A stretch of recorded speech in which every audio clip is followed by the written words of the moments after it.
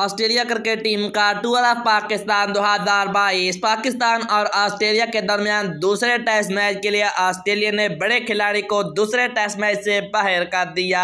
दूसरे test match के लिए बड़ी तब्दीली कर दी। ऑस्ट्रेलिया की प्लेइंग अलेवन में क्या क्या तब्दीलियाँ होने वाली हैं, आज हम आपको इस वीडियो में बताएँगे तो इस वीडियो को आखिर तक ज़रूर देखिएगा। इस वीडियो में आगे बढ़ने से पहले इस वीडियो को लाइक और चैनल को ज़रूर सब्सक्राइब कीजिएगा। पाकिस्तान और ऑस्ट्रेलिया के दरमियान दूसरा टेस्ट मैच बारह था सोलह मार्च को कराची में खेला जाएगा।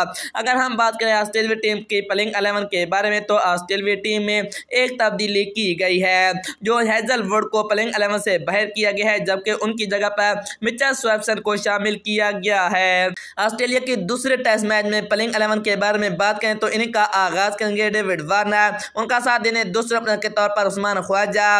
नंबर तीन पोजीशन के लिए मानस लबूशैन। नंबर चार पोजीशन के लिए सटीमा समेत। नंबर पाँच पोजीशन के लिए ट्रेविस है नंबर छः पोजीशन के लिए क्रिस ग्रीन नंबर सात पोजीशन के लिए एलेक्स कैरी नंबर आठ पोजीशन के लिए मिचर सट्टार नंबर नौ पोजीशन के लिए पैट कॉमे नंबर दस पोजीशन के लिए नेथन लाया और नंबर अलेवन पोजीशन के लिए मिचर स्वैप्सन को डेब्यू कराया जाएगा।